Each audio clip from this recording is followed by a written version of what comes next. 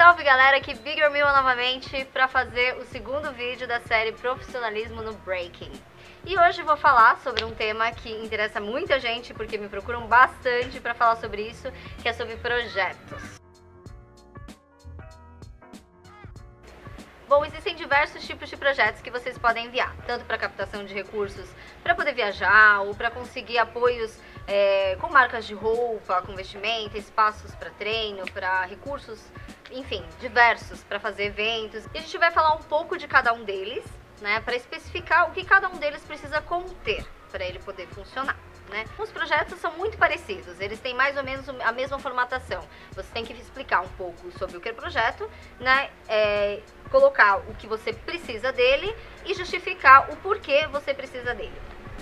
Sobre os editais. Normalmente nos editais é onde você precisa colocar as informações mais detalhadas. Então, basicamente você precisa ter o resumo do projeto, um detalhamento do projeto, um cronograma de como ele vai ser realizado, dividido por meses, semanas, enfim, com todos os detalhes de como você vai realizá-lo, ele ter também um, um, orçamento, né, uma planilha orçamentária com todos os gastos que você vai ter deste projeto, os objetivos dele e o principal, a justificativa, por que este projeto deve, deveria ser contemplado. Para editais, normalmente, online, você tem um limite de caracteres, então você precisa procurar sempre resumir tudo que você vai colocar. Projetos muito longos também, eles não são muito é, atrativos, né, para quem faz a seleção. Então é sempre bom a gente tentar resumir tudo da melhor forma possível, mas colocando o máximo de informações que enriqueçam o teu projeto. Uma dica de site para vocês acompanharem todos os editais que estão abertos é o prosas.com.br. Esse site é muito interessante, mas ele tem editais diversos, sobre tudo, sobre, é, enfim, editais de, de, teatro, de cinema, não só culturais, mas existem editais voltados para saúde. Então você tem que ir lá e selecionar a, a, o tipo de edital que você procura e ele vai te mostrar todos os editais que estão abertos no momento, tanto de empresas privadas como do governo, enfim, todo tipo de edital. Super recomendo vocês acompanharem sempre esse site porque lá aparece tudo. Existem também projetos diretos, que você pode solicitar espaços para treino. É um pouco mais simples, você vai basicamente é, colocar um currículo teu, né, o que você faz, é, a tua capacitação e o porquê você precisa desse espaço.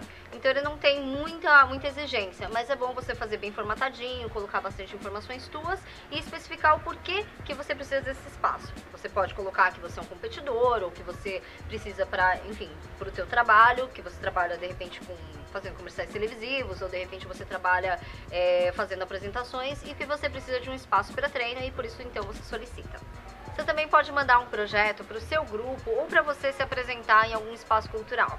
Né? Esse tipo de projeto demanda somente, além de todos esses detalhes que você tem que normalmente enviar num projeto, você tem que colocar a parte de figurino, de som, de iluminação, as necessidades técnicas do espaço para poder desenvolver esse projeto, né? E informações detalhadas sobre o tema, é, se existe uma sinopse, se existe qualquer temática, ou, enfim, falar sobre o projeto, a apresentação que você está desenvolvendo, né? Sobre o espetáculo, o pocket show que você desenvolve. Então, além das informações de objetivos, justificativa, tudo isso, faixa etária e tudo que isso precisa conter, você também precisa inserir essas informações sobre a apresentação, com informações técnicas também das necessidades, para ver se o espaço também consegue atender as necessidades que você precisa.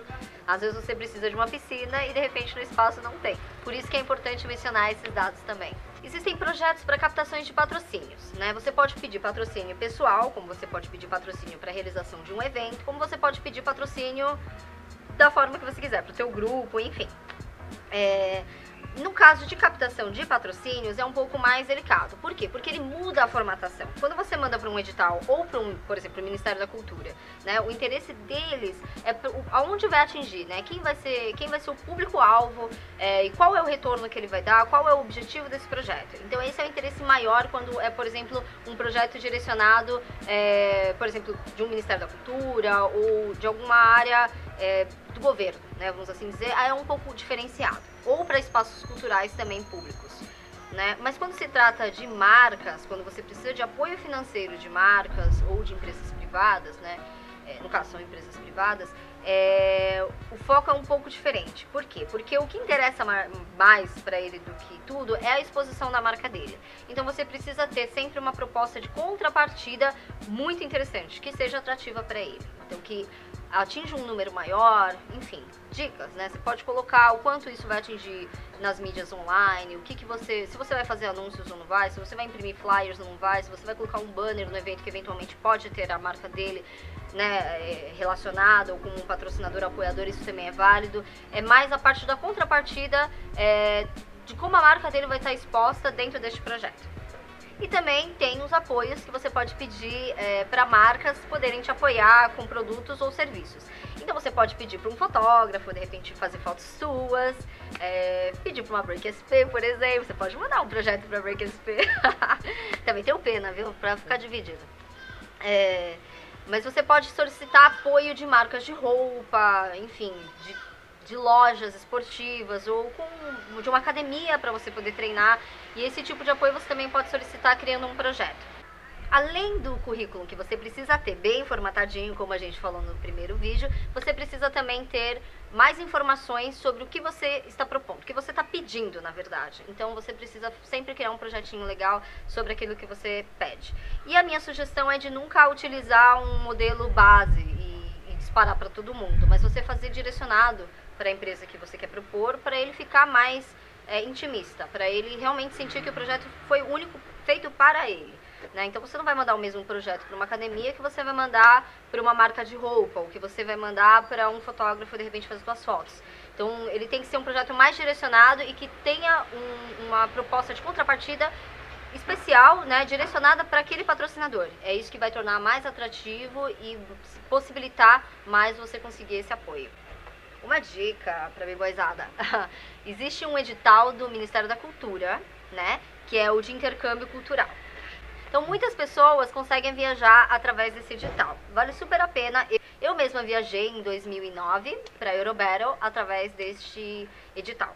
Então este edital ele custeia passagens, hospedagem, ele cobre alguns custos e vale super a pena para de repente você que tem vontade de viajar para fora ou tem vontade de participar de algum tipo de evento.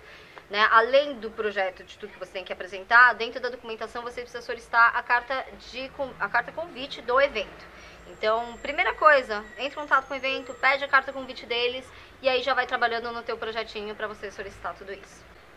E para quem quiser trabalhar com produção cultural e quiser de repente criar um projeto para conseguir patrocínio, ou conseguir apoio de algum espaço cultural, de alguma coisa para conseguir realizar estes eventos. Em resumo, todo projeto precisa tem uma ordenzinha para você escrevê-lo, né? E normalmente na primeira página você tem que colocar as suas informações pessoais, né, o proponente, a pessoa que está propondo o projeto, tem que conter as informações dela também, né?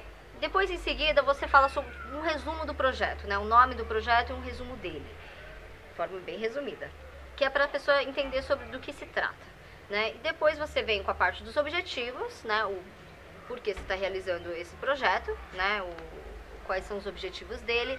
Tem a justificativa, que é o porquê o seu projeto tem que ser ou deve ser contemplado, público-alvo, o local onde ele vai ser realizado, se o evento vai ser gratuito ou não e quais são as contrapartidas para o público e quais são as contrapartidas para quem está financiando o teu projeto.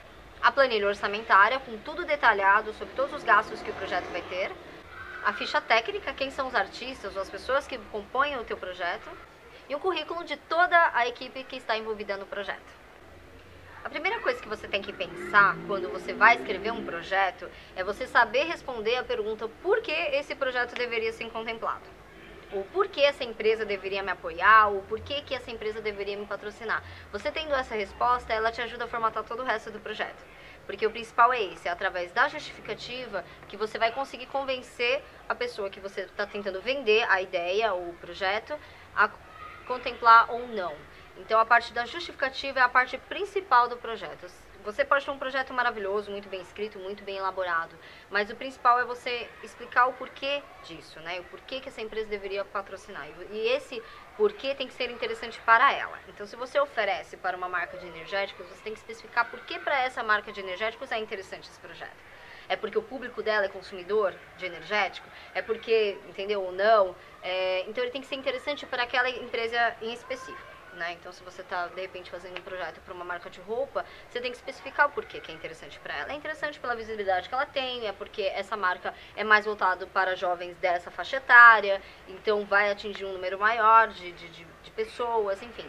Então, tem que sempre a, a, apresentar o porquê de, da realização desse, é, realização desse projeto no caso de uma empresa. No caso de um Ministério da Cultura, um edital federal, alguma coisa assim, é, já é o, o, foco muda, né? Ele tem que passar mais a parte do, do foco social, né? O que, que ele vai beneficiar a população no geral, né? O que, que ele vai beneficiar os jovens, o que, que, que, benefício que ele vai trazer para a sociedade. E isso é muito importante. Então você precisa apresentar normalmente números, é, especificar o porquê. Ó, a gente quer realizar esse evento, não sei, aqui em Carapicuíba, porque aqui o índice de tal coisa é maior que em outras regiões e aqui as atividades culturais são mínimas e tal. Então é uma justificativa. E tudo isso você tem que especificar no projeto. Tendo todas essas informações, estando bem escrito com o português correto, as chances de você conseguir é, realizar o teu projeto são muito grandes. Caso vocês não tenham assistido o primeiro vídeo da série, convido vocês a assistirem, a gente fala mais sobre parte do, dos currículos, né, do, do release, de todo o material é, principal que um b-boy, b-girl, um artista precisa ter. Então se você não assistiu, convido vocês a assistirem, deixo o link aqui embaixo para vocês também. É isso, galera. Muito obrigada por terem assistido o vídeo. Sigam acompanhando os, os, vídeos deste canal, se inscrevam, compartilhem com seus amigos e somem com a cultura, que isso é muito importante. Não sei se vocês perceberam, mas no vídeo passado eu estava usando o cap da EZE, hoje eu estou usando o DRR a posse, e é assim que a gente vai somando com a cultura, consumindo os produtos da cultura, assistindo vídeos de canais que são da cultura e fazendo sempre parte de tudo que é feito pela cultura. Então somem com os eventos que são feitos por pessoas da cultura, é, somem com marcas que são de pessoas que fazem parte da cultura e é assim que a gente faz a nossa cultura crescer cada dia mais. Um beijo grande, por hoje é só e a gente se vê no próximo vídeo.